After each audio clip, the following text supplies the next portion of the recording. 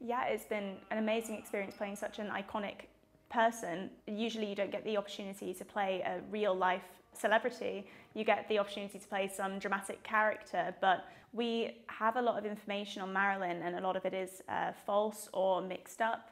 Um, we don't really know much about her life because she died before she got the chance to tell us. So it's been really great to kind of unravel everything about Marilyn.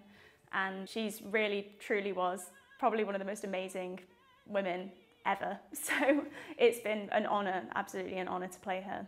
I think one thing that audience can really expect from the show is different sound worlds. I mean, it's quite amazing being on stage and all of a sudden you're transported to these amazing whirling soundscapes to then all of a sudden in some smoky jazz bar. It kind of delves between some sort of jazzy opera because you've got a, a, tenor sax, a double bass, and keys all playing with percussion. All of a sudden, then grand virtuosic moments of Wagner and Verdi. It really kind of blurs the two two worlds together. So a really amazing kind of sound world for us to enjoy as an audience and singers. It's all kind of written in fragments. So it it starts off with her uh, rising from the dead, and then she tells her story in fragments from her life.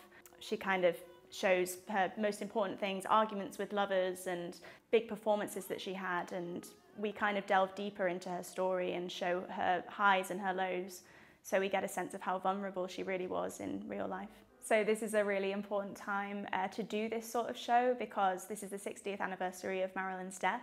It's all the different kind of relationships that she has with these different men as they try to take advantage, as they were uh, in love with her, and how she deals with them. It really is all about Marilyn, and that's at the real core of the story.